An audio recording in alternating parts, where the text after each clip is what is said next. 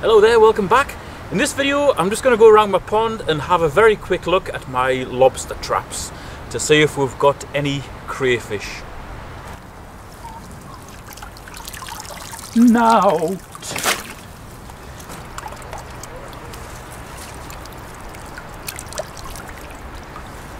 Nothing.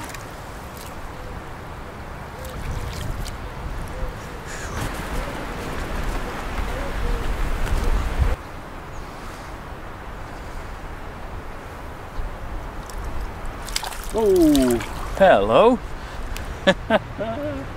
what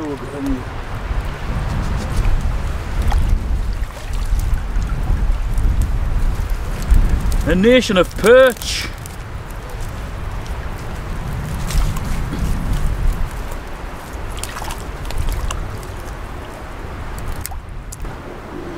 We've got perch eggs on there as well.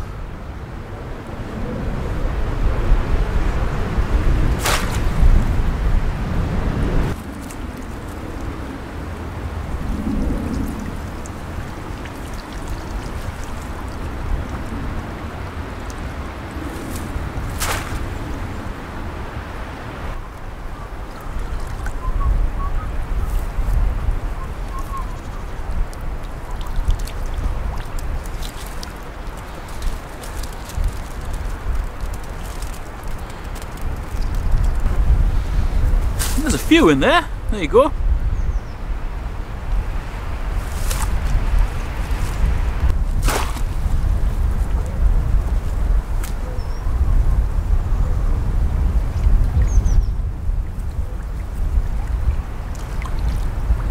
Oh dear.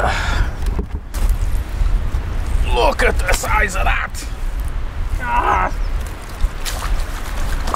How am I going to get that out of there?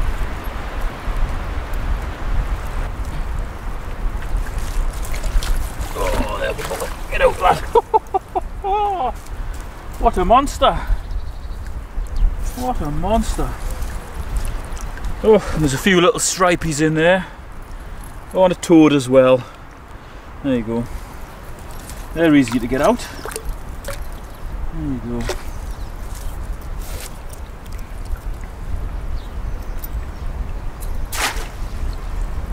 Well, there you go. That video was short and sweet. That trout was a monster. Was in cracking condition as well.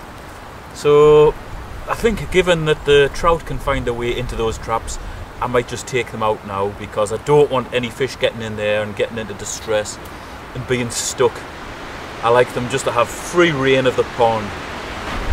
Now if you've noticed that thing, that's a duck hut that I put there the other day.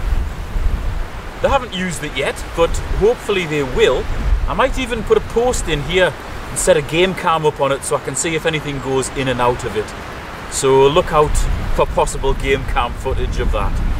Thanks very much for watching. I'll see you next time.